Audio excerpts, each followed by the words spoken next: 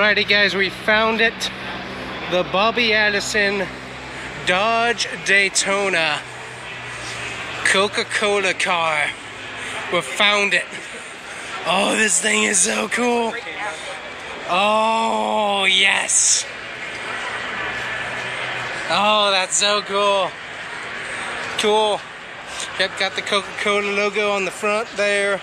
That is so neat. Yep, there he is. That's a Hemi too. Yep. Wow. That's cool. I'm glad we got to see this. Yeah. Sweet.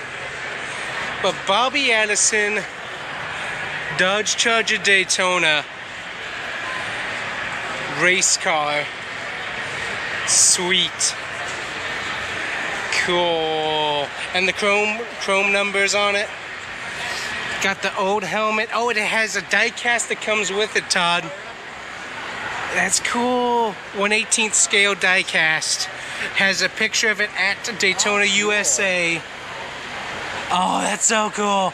That Oh, and it's signed.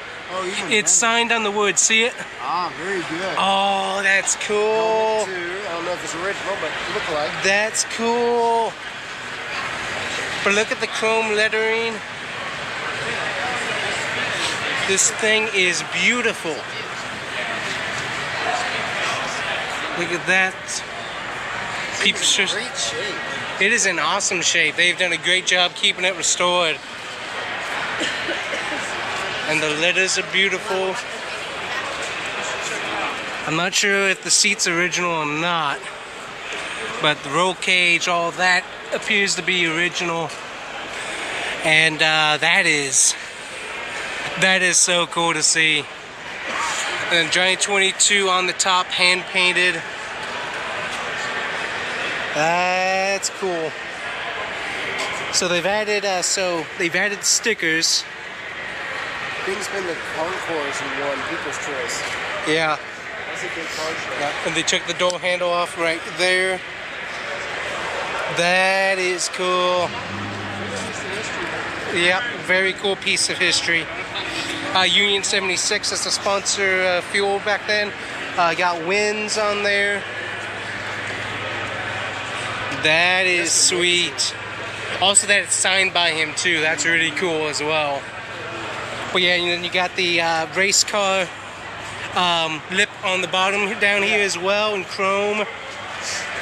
That is so cool. George Wallace too, designer of the wing cars. Oh, cool. Ooh, that's cool. That is very, very cool. Got restored in correct red and gold Coca-Cola number 22 livery after being discovered in a barn by Pat McKinney. Uh, that's cool. So he ran it in 1969 for four laps in excess of 200 miles per hour.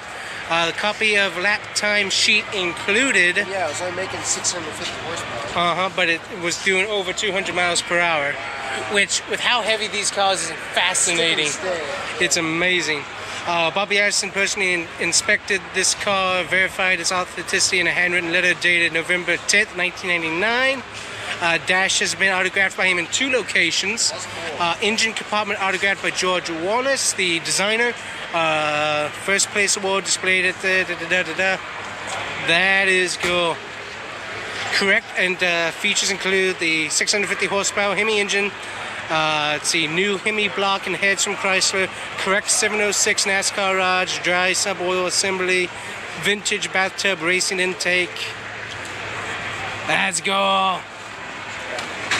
That is cool. Very, very. Sweet. Okay, that made my day right there. That is that is awesome. You can see I made this paint scheme too.